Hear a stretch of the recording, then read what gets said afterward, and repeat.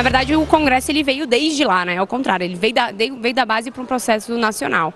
É, eu acho que esse, esse momento que a gente está, e muita gente tinha dúvida se a gente fazia o Congresso agora ou não, é o momento da gente unir forças, é, fazer uma formação política também, tem muita gente chegando, e, e formular um novo projeto pra, de sociedade para esse próximo período.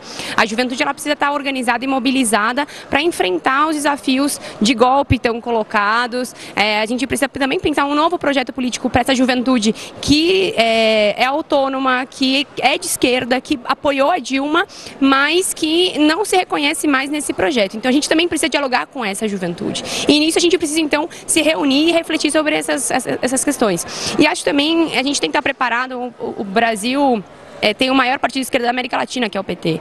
E a gente tem que estar preparado também para apoiar e, e, se estruturar junto com os outros partidos da América Latina, que a gente vê muito pouco hoje aqui. Por exemplo, os kirchneristas estão num processo muito forte hoje na Argentina. A gente tem uma relação muito forte com a Venezuela e com outros partidos que a gente também precisa se aliar e, e tocar um projeto para a América Latina, não só para o Brasil. Então, é, um, é da base para o nacional, para o internacional.